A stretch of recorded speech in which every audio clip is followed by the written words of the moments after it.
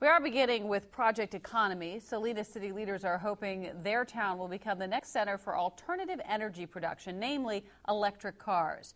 Green Vehicles, a company that develops, manufactures, and supplies electric transportation, is already set to move to Salinas from San Jose. The first of what city leaders are hoping will be many new businesses to come to town. Action News reporter Stephanie Trong is live in Salinas with more. Aaron, the hope is that Salinas can convince other green businesses to set up shop here, create jobs, and generate tax dollars that will ultimately help make Salinas a better place to live. New technology is moving into the area. This industrial area just south of Salinas may become the next major green technology hub.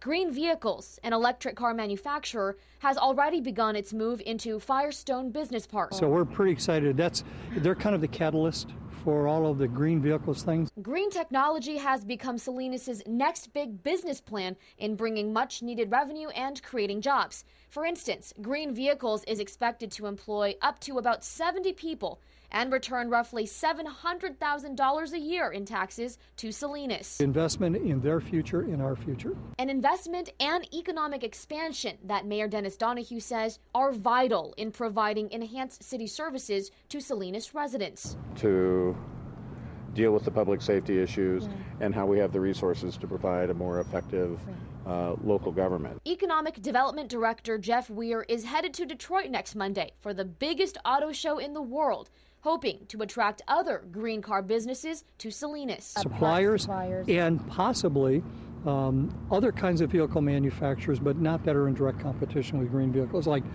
major truck, uh, larger trucks. Donahue stresses now is the time to strengthen Salinas and position it as an integral part of Electric Valley, sort of the new decade's Silicon Valley.